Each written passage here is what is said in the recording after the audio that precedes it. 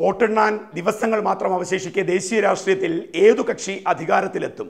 വിവിധ രാഷ്ട്രീയ പാർട്ടികളുടെയും മാധ്യമങ്ങളെയും അതോടൊപ്പം തന്നെ സ്വതന്ത്രമായിട്ടുള്ള വേദികളുടെയും ഒക്കെ പ്രവചനവും അവരുടെ വിലയിരുത്തലും ഒക്കെ വരുന്നുണ്ട്. പക്ഷേ രാജ്യത്തെ ഏറ്റവും ശ്രദ്ധിക്കേണ്ട ഒരു വിഭാഗം മുഖ്യധാരകൾ ഒരിക്കലും ചർച്ച ചെയ്യാതിരിക്കുന്ന ഒരു വിഭാഗം രാജ്യത്തെ ബെറ്റിംഗ് ഏജൻസികളുടേതാണ്. തെരഞ്ഞെടുപ്പ് പ്രചരണവുമായി ബന്ധപ്പെട്ട സ്ഥാനാർത്ഥികൾക്ക് അവർ പോലും അറിയാതെ അവർക്ക് വേണ്ടി പണമൊഴുക്കുന്ന ഏജൻസികൾ. അത് ബെറ്റിംഗ് ഏജൻസികൾക്ക് വളരെ നിർണായകമായ സ്വാധീനവും സാന്നിധ്യവും ഉണ്ട്. അവരുടെ പ്രവചനങ്ങൾ അവർ പണമിറക്കുമ്പോൾ ഏതു തരത്തിലാണ് അവർ ആ ട്രെൻഡ് പീപ്പിൾ ട്രെൻഡ് എന്ന് അറിഞ്ഞിട്ടാണ് അവർ പണമെടുക്കുന്നത്.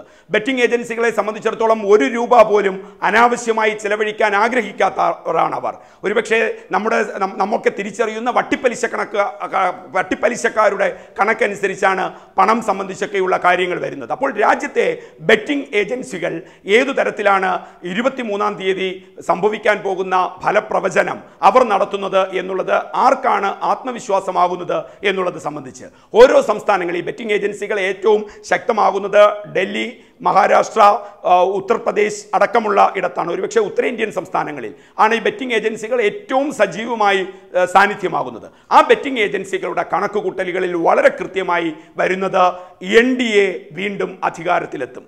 എൻ ഡി എയെ അധികാരത്തിലെത്തിക്കാൻ നരേന്ദ്രമോദി അമിത്ഷാ സഖ്യം ബി ജെ പി നേതൃത്വത്തിന് സാധിക്കും എന്ന ആത്മവിശ്വാസം പറയുകയാണ് രാജ്യത്തെ ബെറ്റിംഗ് ഏജൻസികൾ. അതിൽ പ്രധാനമായും മഹാ മുംബൈ കേന്ദ്രീകരിച്ചുള്ള ബെറ്റിംഗ് ഏജൻസികൾ ആ അർത്ഥത്തിൽ തന്നെ വിലയിരുത്തി കഴിഞ്ഞാണ് ഓരോ ഘട്ടത്തിലും അവർ പണം തെരഞ്ഞെടുപ്പ് രംഗത്ത് വിനിയോഗിക്കുന്നത്.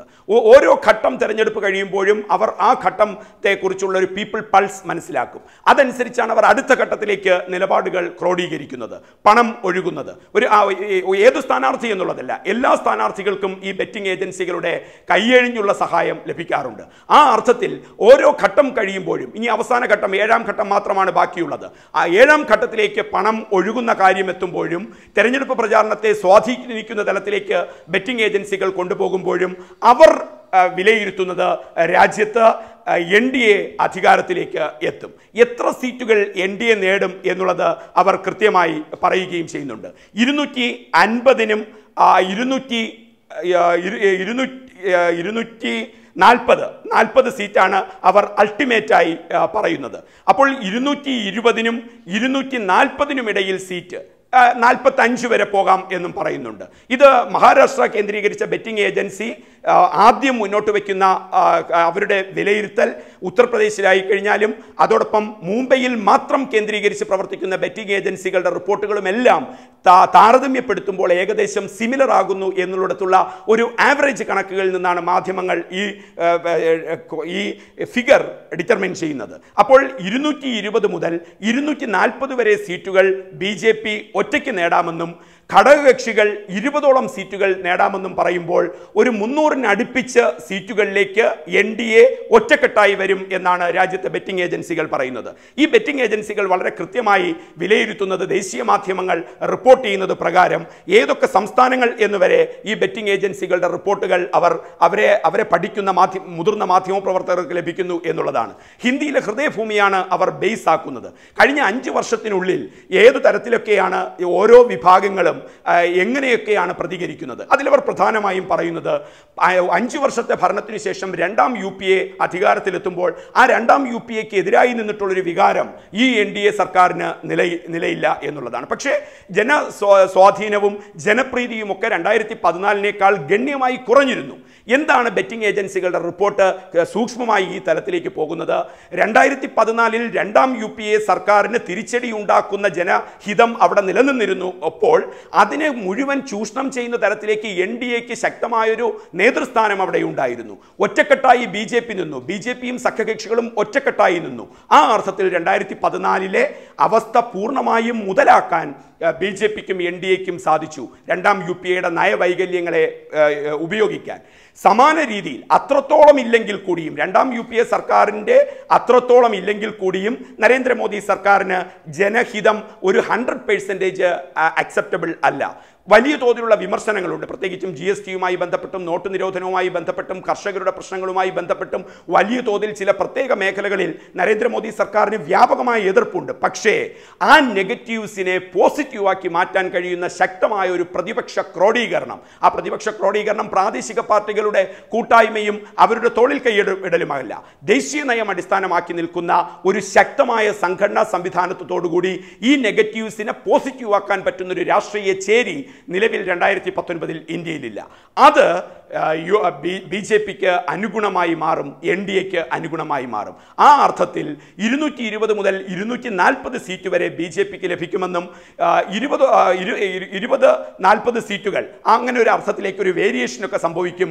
അങ്ങനെ എന്ത് വന്നാലും മുന്നൂറിനോട് ചേർന്ന് നിൽക്കുന്ന ഒരു മെജോ വോട്ടിംഗ് വോട്ടിംഗ് രീതി എൻ ഡി എക്ക് ലഭിക്കും. ആ അർത്ഥത്തിൽ എൻ ഡി എ അധികാരത്തിൽ വരും എന്ന് തന്നെയാണ് രാജ്യത്തെ ബെറ്റിംഗ് ഏജൻസികൾ വിലയിരുത്തുന്നത്. അങ്ങനെ വരുമ്പോൾ മുന്നൂറിനടുപ്പിച്ച സീറ്റുകളോടുകൂടി ബി ജെ പി അധികാരത്തിലെത്തും.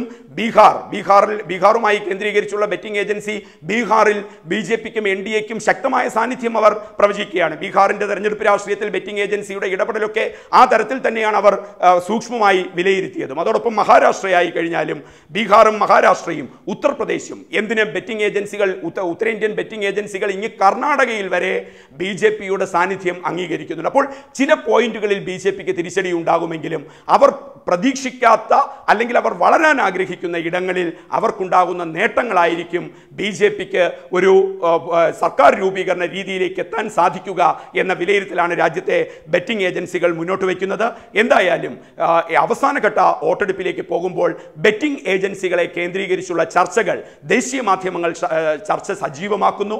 ആ ഒരു ആസ്പെക്റ്റിലേക്ക് വരുമ്പോൾ ഇരുന്നൂറ്റി നാൽപ്പത് സീറ്റുകൾ നേടി ബി ജെ പി വീണ്ടും അധികാരത്തിലേക്ക് വരും. ഒരു മുന്നൂറിനടുപ്പിച്ച സീറ്റുകളിലേക്ക് മുന്നൂറ് എത്തിയില്ലെങ്കിൽ കൂടിയും മുന്നൂറ് അടുപ്പിച്ചിലേക്ക് ഒരു കംഫർട്ടബിൾ സോണിൽ എൻ ഡി എ എത്തും. അതിൽ പ്രധാനമായി പറയുന്ന ഒറ്റ പോയിന്റാണ് ബെറ്റിംഗ് ഏജൻസികളുടെ റിപ്പോർട്ടുകൾ.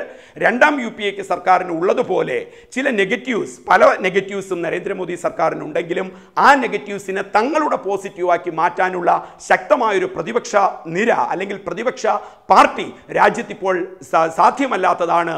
വീണ്ടും എൻ ഡി എ അധികാരത്തിൽ വരാനുള്ള കാരണം രണ്ടായിരത്തി പതിനാലിൽ രണ്ടാം യു പി എ സർക്കാരിന് എതിരായിട്ടുള്ള കാര്യങ്ങളെ പോസിറ്റീവ് ആക്കാൻ അന്നത്തെ ബി ജെ പി നേതൃത്വത്തിന് കഴിഞ്ഞിട്ടുണ്ട്. രണ്ടായിരത്തി പതിനാലിൽ പതിനാറാം ലോക്സഭയിലെ കണക്കുകൾ വളരെ കൃത്യമായിട്ടുണ്ട്.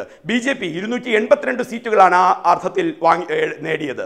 അഞ്ഞൂറ്റി നാൽപ്പത്തി അഞ്ചിൽ മുപ്പത്തൊന്ന് ദശാംശം മൂന്ന് നാല് ശതമാനം വോട്ട് അന്ന് സ്വന്തമാക്കുകയും ചെയ്തിരുന്നു രണ്ടായിരത്തി പതിനാലിൽ അപ്പോൾ ഈ അർത്ഥത്തിലാണ് ബെറ്റിംഗ് ഏജൻസികൾ വളരെ കൃത്യമായി പറയുന്നത്. രാജ്യത്ത് നരേന്ദ്രമോദി സർക്കാർ എന്നല്ല അവർ പറയുന്നത്. ബി നേതൃത്വം നൽകുന്ന എൻ ഡി എ വീണ്ടും അധികാരത്തിലെത്തും എന്ന ശുഭാപ്തി വിശ്വാസം രാജ്യത്തെ ബെറ്റിംഗ് ഏജൻസികൾ മുന്നോട്ട് വയ്ക്കുന്നു.